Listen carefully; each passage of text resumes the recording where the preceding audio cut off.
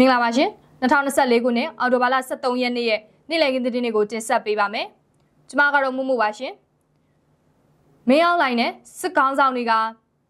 တရားရုံးတွေနဲ့ခုံရုံးတွေရှေ့မှောက်မှာအပြစ်သားတွေအဖြစ်သားရှိတဲ့တယ်လို့ကုလသမဂ္ဂအစည်းအဝေးမှာတမ်မတ်ကြီးဦးကျော်မိုးထွန်းကပြောကြားလိုက်ပါတယ်ရှင်စစ်တပ်အတိုင်းဝိုင်းကဖြစ်ပြီးဝန်ထမ်းတွေကိုအကြမ်းဖက်တယ်လို့သတင်းထွက်ပေါ်နေတဲ့ဒူနာယတနာဆိုင်ဘုံပေါက်ကွဲမှုဖြစ်ပွားခဲ့ပါတယ် မတရားနယ်မှာနရက်ဆက်တိုက်လေကြောင်းတိုက်ခိုက်ခံရပြီးမြေပြင်ကနေပါစစ်ရှုံးကောင်စီကထိုးစစ်ဆင်နေတဲ့အတွက်ထိခိုက်ဒေဆုံးမှုထပ်ပြီးရှိနေတယ်လို့သိရပါတယ်။အနောက်ပိုင်းတိုင်းစစ်ဌာနချုပ်နှပခတီးရှိတဲ့ခမာယ383ကိုအေကထိုးစစ်ဆင်လို့စစ်တပ်ကလေကြောင်းကနေအပြင်းထန်ခုခံနေပါတယ်ရှင်။ပထမဆုံးသတင်းတပုတ်အနေနဲ့မြန်မာနိုင်ငံမှာစစ်ရာဇဝတ်မှုနဲ့လူသားမျိုးနွယ်အပေါ်ရာဇဝတ်မှုတွေကျူးလွန်နေတဲ့မြန်မာစစ်ကောင်းဆောင်တွေအတွက် ထိုက်တန်သောနေရာမှာတရားရုံးနဲ့ခုံရုံးများရှိမှအပြစ်သားတွေအဖြစ်သားရှိတဲ့ကြောင်းကုလသမဂ္ဂဆိုင်ရာမြန်မာအမြဲတမ်းကိုယ်စားလှယ်တန်အမတ်ကြီးဦးကျော်မိုးထွန်းကပြောဆိုလိုက်ပါတယ်။အောက်တိုဘာ9ရက်နေ့အောက်တိုဘာ10ရက်နေ့အမေရိကန်နိုင်ငံနယူးယောက်မြို့ကုလသမဂ္ဂဌာနချုပ်ရုံး၌ကျင်းပပြုလုပ်တဲ့89ကြိမ်မြောက်ကုလသမဂ္ဂအထွေထွေညီလာခံစက်တမကော်မတီရဲ့လူသားမျိုးနွယ်ပေါ်ကျူးလွန်တဲ့ရာဇဝတ်မှုများအထွေထွေဆွေးနွေးမှုအစီအစဉ်တွင်ကုလသမဂ္ဂဆိုင်ရာ မြန်မာအမြဲတမ်းကိုယ်စားလှယ်တန်အမတ်ကြီးဦးကျော်မိုးထွန်းကအခုလိုပြောကြားလိုက်တာပါလူမျိုးတုံးတပ်ဖြတ်မှုလူမျိုးစုတစုအားစနစ်တကျဖယ်ရှားမှုဆေးရဇွေးမှုနဲ့လူသားမျိုးနဲ့အပေါ်ကျူးလွန်သောရာဇဝတ်မှုများအားကျူးလွန်သူများအနေနဲ့နိုင်ငံရေးအာဏာကိုရယူဖို့ကြိုးပမ်းတာတရားဝင်မှုမရှိထိုက်ကြောင်းတန်အမတ်ကြီးကပြောဆိုလိုက်ပါတယ်စစ်ကောင်ဆောင်တွေနဲ့ထိုက်တန်တဲ့နေရာတွေကလွတ်တော်များတမရအိမ်တော်များမဟုတ်ဘဲနိုင်ငံတကာရာဇဝတ်တရားရုံးများသို့မဟုတ် ခုံရုံးများဖြစ်ကြောင်းသူတို့အနေနဲ့အဲ့ဒီတရားရုံးတွေနဲ့ခုံရုံးတွေရဲ့ရှေ့မှောက်မှာအပြစ်သားတွေအပြစ်သားရှိတဲ့ကြောင်းတအမတ်ကြီးကပြောဆိုလိုက်ပါတယ်။အာနာသိန်းအကြမ်းဖက်စစ်တပ်ကစီစဉ်နေတဲ့အတူအယောင်ရွေးကောက်ပွဲကိုမြန်မာပြည်သူတွေကပြင်းထန်စွာပယ်ချပါကြောင်းမြန်မာပြည်သူများအပေါ်အကြမ်းဖက်စစ်တပ်ကကျူးလွန်နေတဲ့ရက်ဆက်ကြမ်းကြုတ်မှုတွေအဆက်မပြတ်ဖြစ်ပေါ်နေတဲ့အခြေအနေမှာအတူအယောင်ရွေးကောက်ပွဲဟာလွတ်လပ်၍တရားမျှတပြီးအားလုံးပါဝင်နိုင်သောရွေးကောက်ပွဲမြည်သည့်အခါမှမဖြစ်နိုင်ကြောင်း ကုလသမဂ္ဂဆိုင်ရာမြန်မာအမြဲတမ်းကိုယ်စားလှယ်တာမတ်ကြီးဦးကျော်မိုးထွန်းကပြောကြားလိုက်ပါတယ်ရှင်။နောက်ထပ်သတင်းတစ်ပုဒ်အနေနဲ့ရန်ကုန်တိုင်းတာမွေမြို့နယ်ကြိုက်ကဆန်လန်ဦးချစ်မောင်အင်ယာအနီးရှိတူနိုင်ရတနာဆိုင်မှာမင်းည10နာရီဝန်းကျင်ကဘုံပေါက်ကွဲကြောင်းဒေသခံတွေထံကသိရပါတယ်။ဘုံပေါက်ကွဲပြီးမိနစ်ပိုင်းအကြာမှာစစ်ရှုံးကောင်စီတပ်သားတွေရောက်ရှိလာပြီးလမ်းပိတ်စစ်ဆေးခြင်းများလှုပ်ဆောင်တွေကထိခိုက်ပျက်စီးမှုအခြေအနေကိုမသိရသေးပါဘူးရှင်။ ကြိုက်ကဆန်လန်ဦးချစ်မောင်အိမ်ယာကတူနိုင်ရတနာဆိုင်ဘုံပေါက်တာမြေကြီးပါကျုံနေမီးတော့မလောင်သွားဘူးကားတွေကိုတားဆစ်နေတယ်လို့ဒေသခံတအုပ်ကပြောပါတယ်အဲ့ဒီတူနိုင်ရတနာဆိုင်ဟာဝန်ထမ်းများအားအကြမ်းဖက်ကြောင်သတင်းထွက်ပေါ်နေပြီးပြီးခဲ့တဲ့2023ခုနှစ် off ကလာကလည်းရွှေရယ်ပစ္စည်း34မျိုးပျောက်ဆုံးတဲ့အတွက်ဝန်ထမ်း80ဦးအားမိသားစုနဲ့အဆက်အသွယ်လုံးဝလောက်ခွင့်မပြုဘဲပိတ်လောင်စစ်ဆေးခြင်းများပြုလုပ်ခဲ့ကြောင်းလည်းသိရပါဗျ။ ဒါပြင်ရွှေဆိုင်ဟာစစ်ရှုံးကောင်စီတပ်ကိုငွေကြေးလူရန်ကြောင်းနဲ့စစ်တပ်အတိုင်းဝိုင်းကဖြစ်ကြောင်းသတင်းထုတ်ပေါ်နေပြီးတော်လန်ရေးတပ်တွေရဲ့တတိပေးခြင်းကိုလည်းခံထားရတဲ့ဆိုင်ဖြစ်ပါတယ်ရှင်။ဆက်လက်ပြီးစစ်ရှုံးကောင်စီကမရယာမြို့နယ်မှာနှစ်ရက်ဆက်တိုက်လေကြောင်းတိုက်ခိုက်မှုတွေနဲ့မြေပြင်စစ်ကြောင်းထုံးမှုတွေပြုလုပ်နေတာကြောင့်အရတာထိခိုက်ဒေဆုံးမှုတွေထပ်ရှိနေတယ်လို့ဒေသခံတွေကပြောပါတယ်။မနေ့နေ့လယ်ပိုင်းနဲ့ညနေပိုင်းတွေမှာဝင်စုကျေးရွာနဲ့တုံကုန်း ဆယ်ပင်ကျေးရွာတွေကိုလေရင်တွေနဲ့ပြစ်ခတ်တာဖြစ်ပြီးဒီနေ့မနက်ပိုင်းမှာလည်းဆယ်ပင်တငါတောင်အုပ်စပေါက်ကျေးရွာတွေကိုထပ်မံပြစ်ခတ်တိုက်ခိုက်တာလည်းဖြစ်ပါတယ်။အခုကဖုန်းလိုင်းတွေလုံးဝမရတော့ဘူး။မြေပြင်ကလည်းစစ်ကြောင်းကရန်တမ်းပစ်နေတာဆိုတော့လူအထိခိုက်အခြေအနေကမသိရသေးဘူး။ထိတာများတယ်ဆိုတာတော့ပဲသိရတယ်လို့တုံကုန်းကျေးရွာကဒေသခံတအုပ်ကပြောပါတယ်။မနေ့ကဝင်းစုကျေးရွာကိုဘုံကျဲတိုက်ခိုက်မှုဖြစ်စဉ်မှာတန်ဃာတော်သုံးပါအပါအဝင် လူပေါင်း12ဦးသေဆုံးပြီးကြမ်းတဲ့ပြစ်ခတ်တိုက်ခိုက်မှုတွေနဲ့ပတ်သက်ပြီးအချက်လက်တွေမသိရှိရသေးပါဘူး။ပြီးခဲ့တဲ့စက်တင်ဘာလကလည်းမတရားမြို့နယ်ထက်ကမန္တလေးမြို့ပေါ်နန်းတွင်ထဲမှာအခြေစိုက်တက်ဆွဲထားတဲ့စစ်ကောင်စီရဲ့အလဲပိုင်းတိုင်းစစ်ဌာနချုပ်ကိုနှစ်ကြိမ်တိုင်းရှော့တိုက်တုံးနဲ့ပြစ်ခတ်တိုက်ခိုက်ခဲ့တာကြောင့်မတရားမြို့နယ်ကိုအခဲမကြေတဲ့အတွက်အခုလိုအင်အားအစမတန်သုံးဆွဲပြီးတိုက်ခိုက်နေတာဖြစ်တယ်လို့ဒေသခံတွေကပြောကြားပါတယ်ရှင်။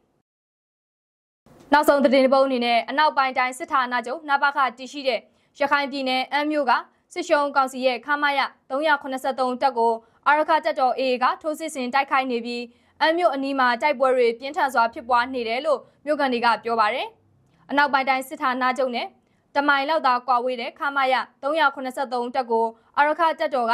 အော်တိုဘာ9ရက်နေ့မှာစတင်ထိုးစစ်ဆင်တိုက်ခိုက်နေတာဖြစ်ပြီး စစ်ကောင်စီဘက်ကလေကြောင်းပစ်ကူလက်နက်ကြီးပစ်ကူတွေနဲ့အပြင်းထန်ခုခံနေတယ်လို့အမ်းမျိုးကန်တယောက်ကပြောပါတယ်။အမ်းမျိုးဝင်ခမာယ383တက်ရင်ကိုအေအေကထိုးစစ်ဆင်တိုက်ခိုက်နေတာရှိတယ်။တိုက်ပွဲတွေအရန်ကိုပြင်းထန်နေတဲ့စစ်ကောင်စီဘက်ကလည်းလေကြောင်းပစ်ကူလက်နက်ကြီးပစ်ကူတွေနဲ့ခုခံနေတဲ့အခုတိုက်ပွဲဖြစ်ပွားနေတဲ့ခမာယ383တက်ရင်ကနာပါခနဲ့တမိုင်လောက်ပဲကွာဝေးတာကြောင့် စစ်ကောင်စီကနပကအထိအေအေရဲ့မြေပြင်ထိုးစစ်တွေရောက်လာမှာကိုအရန်ကြောက်နေကြပါတယ်။အနောက်ပိုင်းတိုင်းစစ်ဌာနချုပ်ရဲ့ကာကင်းဗျူဟာဖြစ်တဲ့မဲတောင်ဗျူဟာကုန်းကို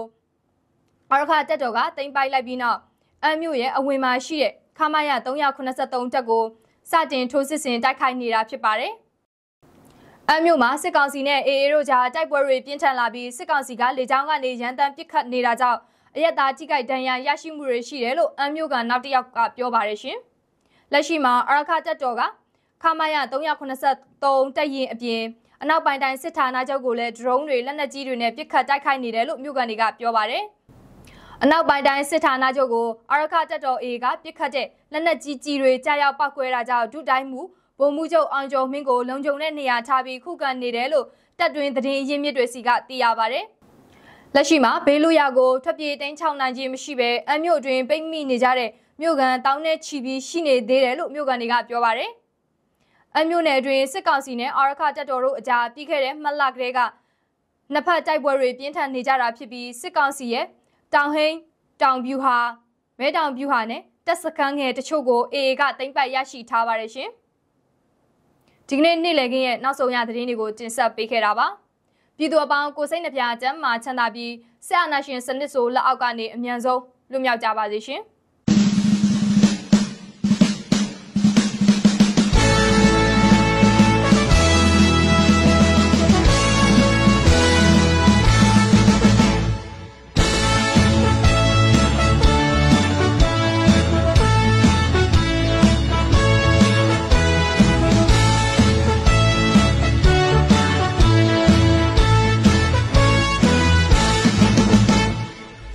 Don't forget in there and I get hit the scene.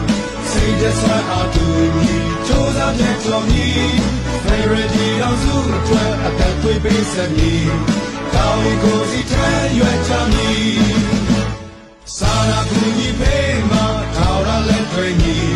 Yeah, in three top BB. That did this on ye. Yendu ana jumya, chimo me can be. ဉာဏ်ပညာနဲ့ဆွဲဖြတ်တည် ယုံကြည်သည်ဘာမတိ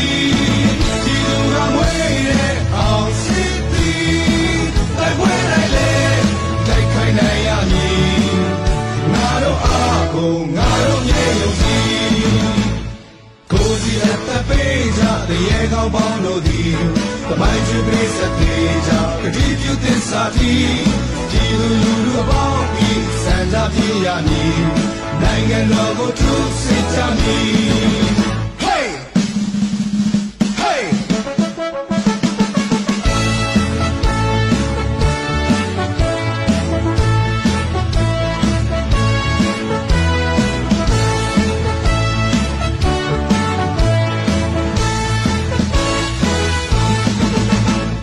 ဒေါ်လာပုံကန်ခြင်းနဲ့အနာဂတ်ခေတ်သစ်စီ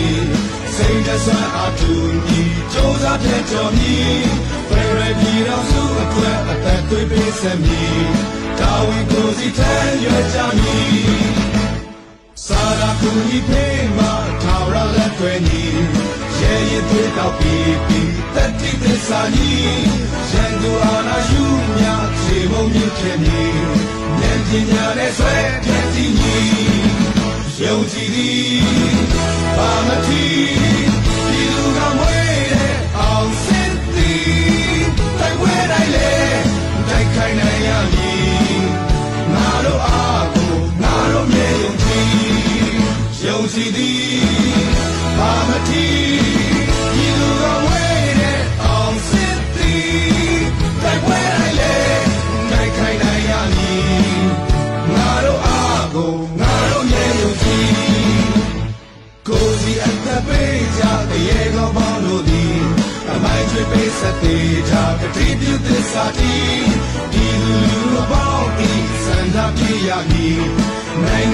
ကိုသူစစ်ကြမည်